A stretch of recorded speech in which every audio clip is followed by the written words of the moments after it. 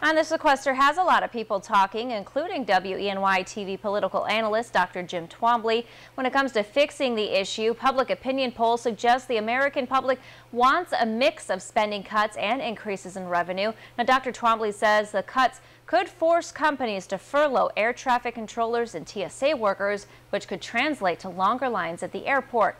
He says the real problem is going to be the long-term impact on the economy. I mean, immediately it's not going to be all that terrible. I mean, this is something that's going to roll out over time. Um, you know, we're not going to see, uh, you know, 2% cut from every budget first thing Monday morning, uh, and suddenly there's going to be mass layoffs. Uh, some of the things that have been talked about is um, furloughing employees, particularly in the defense industry. Jim says the earliest something could be done to undo the automatic cuts is mid to late next week.